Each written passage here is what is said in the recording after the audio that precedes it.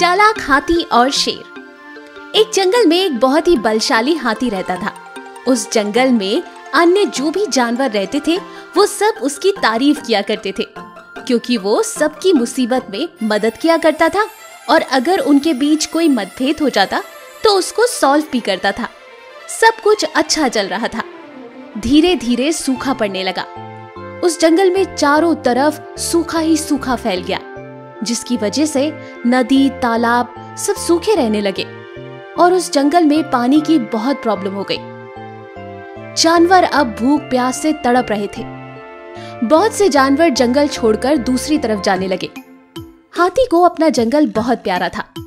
वो उसे छोड़ना नहीं चाहता था, क्योंकि उसका बचपन और उसके माता पिता की यादें उसी जंगल से जुड़ी हुई थी।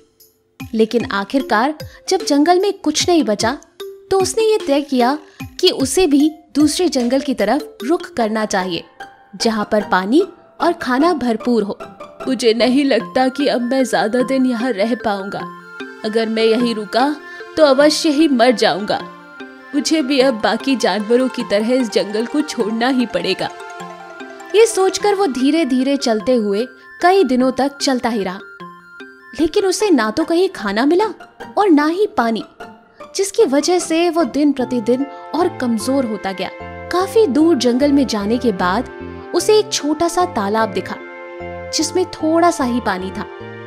जैसे ही हाथी उस तालाब से पानी पीने जा रहा था, तभी अचानक एक शेर भी वहाँ टपक गया।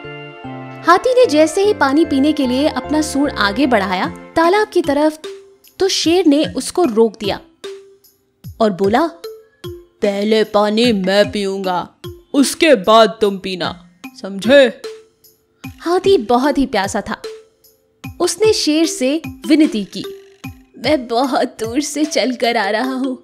कई दिनों से मैंने कुछ खाया नहीं है। प्यास के मारे मेरा बुरा हाल है। मैं आपसे विनती करता हूँ, कृपया कर पानी मुझे पीने दीजिए। इस पर शेर को गुस्सा आ गया और उसने हाथी पर हमला करने का सोचा। दोनों लड़ने लगे। दोनों की लड़ाई काफ़ी देर तक चली। हालाँकि सूखा पड़ने की वजह से शेर भी बहुत कमज़ोर हो गया था और हाथी भी, जिसकी वजह से जल्द ही दोनों थक गए और वहीं पर गिर पड़े। पास में ही एक बड़े गीदड़ों का झुंड ये सारी चीज़ें देख रहा था। हाथी और शेर की लड़ाई देखकर गीदड़ों ने आपस में सोचा, ये तो बहुत अच्छा हो रहा है। ये दोनों मोटे ताजे लड़ लड़ के मर जाएँगे। और हमारे आज के भोजन का इंतज़ाम हो जाएगा। जब हाथी और शेर ने उस झुंड की तरफ़ देखा तो वो उनकी चाल समझ गए। वो जान गए कि वो लोग फिराक में थे कि जैसे ही दोनों लोग मर जाएँ, तो वो सब मिलकर उनको खा ले। तभी हाथी को एक तरकीब सूझी।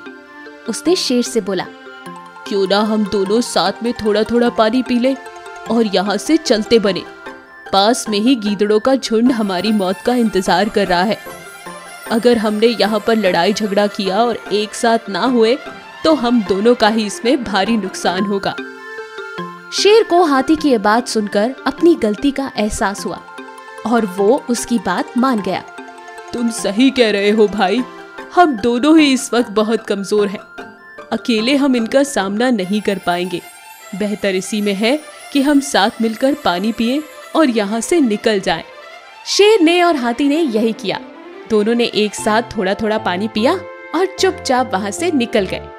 बेचारे गीदड़ों का इंतज़ार इंतज़ार ही रह गया। हमें आपस में बैर नहीं करना चाहिए, क्योंकि बहुत सारे बड़े बड़े झगड़े कई बार छोटी छोटी बातों पर होते हैं। अतः हमें किसी भी झगड़े को शांतिपूर्वक सुलझाने की कोशिश करना चाहिए। ऐसे ही मज़ेदार कहानियों के लिए हमारे चैनल को सब्सक्राइब करना ना भूलें। शुक्रिया।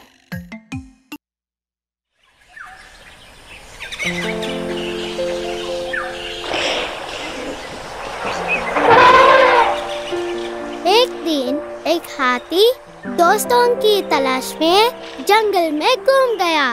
उसने एक पेड़ पर एक बंदर देखा। क्या? तुम मेरे दोस्त बनोगे?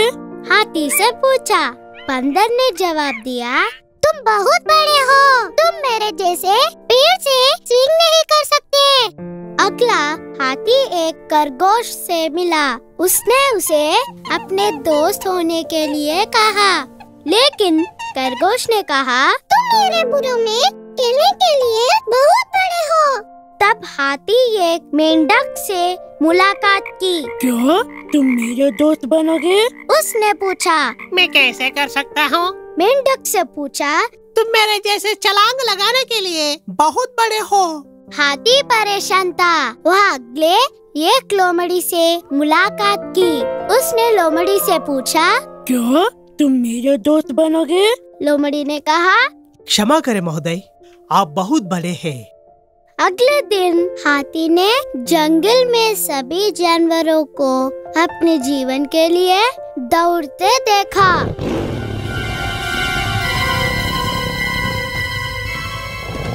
हाथी ने उनसे पूछा कि क्या मामला था? बालू ने जवाब दिया जंगल में एक बाघ है वो हम सबको पकड़ने की कोशिश कर रहा है। जानवरों को छिपाने के लिए भाग गया। हाथी ने सोचा कि वह जंगल में हर किसी को हल करने के लिए क्या कर सकता है? इस बीच बाघ काना कर रहा था जिसे वह कभी भी पा सकता था। हाथी बाघ तक चला गया और कहा, कृपया श्रीमान इन गरीब जानवरों को मत खाओ।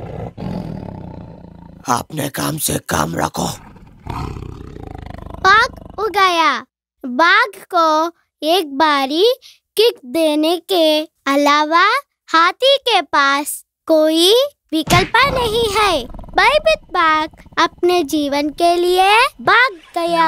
हाथी सभी को खुशखबरी घोषित करने के लिए जंगल में वापस आ गया। सभी जानवरों ने हाथी का शुक्रिया अदा किया। उन्होंने कहा आप हमारे दोस्त बनने के लिए सही आकार है।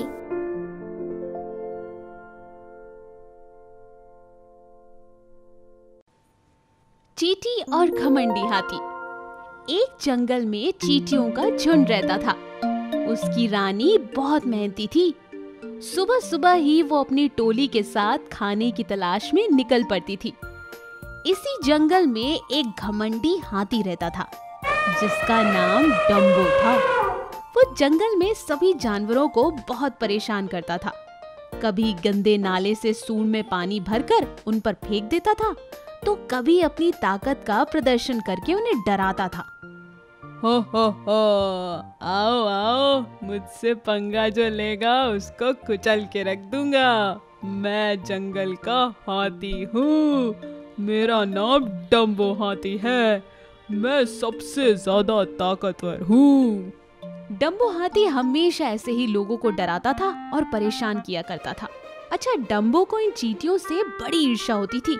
वो उन्हें जब भी देखता था, अपने पैरों से कुचलने की कोशिश करता था। एक दिन चीटी रानी ने डम्बो से बड़ी विनम्रता से कहा डम्बो जी आप लोगों को परेशान क्यों करते हैं? ये आदत अच्छी नहीं है। रानी चीटी की बात सुनकर डम्बो हाथी को बहुत गुस्सा आया। उसने कहा ए छोटी सी मामूली चीटी तू मुझे समझाएगी? अपनी साइज़ में रहे देख रही है तू? मैं कितना बड़ा और बलवान हूँ। मैं चाहूँ तो तुम्हारी पूरी फौज को कुचल के रख दूँगा। रानी चीटी ने डम्बो की बात सुनी और वहाँ से चुपचाप निराश होकर चली गई।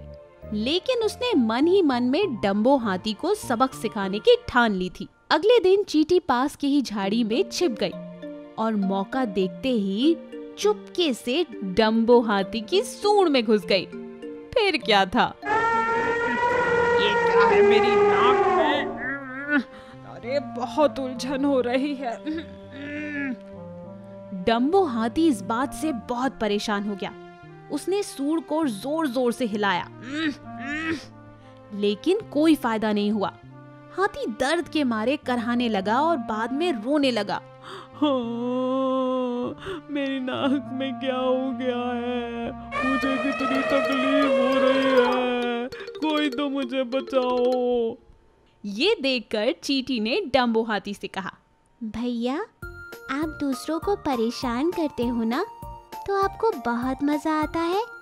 आप खुद को परेशान होते देखकर आपको पता चला कैसा लगता है। रानी चीटी की बात सुनकर डम्बो हाथी को अपनी गलती का एहसास हुआ। मुझे माफ़ कर दो चीटी रानी। मैंने अपनी ताकत का अपनी हिम्मत का गलत इस्तेमाल किया। आगे से मैं ऐसा नहीं करूँगा। रानी चीटी को हाथी की बात सुनकर उस पर दया आ गई। उसने उसे माफ़ किया और उसकी सूट से बाहर आ गई। लेकिन हाँ रानी चीटी ने डम्बो हाथी को एक बात और समझाई। डम्बो भैया कभी भी किसी छोटे को कमज़ोर नहीं समझना चाहिए। रानी चीटी की बात सुनकर डम्बो बोला मुझे सबक मिल चुका है रानी चीटी। मुझे अच्छी तरह से समझ में आ चुका है। अब मैं सबसे मिलजुल कर रहूँगा। और किसी को परेशान नहीं करूँगा। उसके बाद से डम्बो हाथी सबकी मदद करता था। तो बच्चों, इस कहानी से हमने क्या सीखा? घमंडी का सिर हमेशा नीचे होता है। कभी भी किसी को कमज़ोर और छोटा नहीं समझना चाहिए और दूसरों के दुख और तकलीफ़ में हमेशा उनकी मदद करनी